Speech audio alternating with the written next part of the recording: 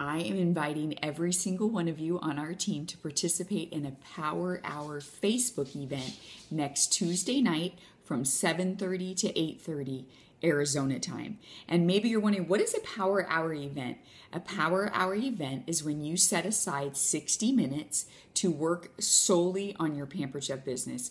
You're not checking email, you're not doing laundry, you're not emptying the dishwasher, you're focused 60 minutes of attention. And what we found is when you do that, you can get incredible results, maybe things that have been on your list to do for weeks and weeks can literally get done in no time when you're focused. Part of our event is actually going to be a contest, and we're going to see how fast you can get 20 no's. And what do I mean by no's? Well, there is a great concept. It's called Go for No, and I've read a whole book on it, and I know many of you have.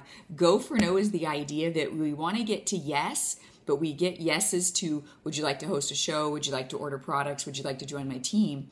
by getting a lot of no's along the way. If you never hear no, you actually are only inviting or asking safe people questions like that. So we're going to have a contest Tuesday night to see how fast you can get 20 no's.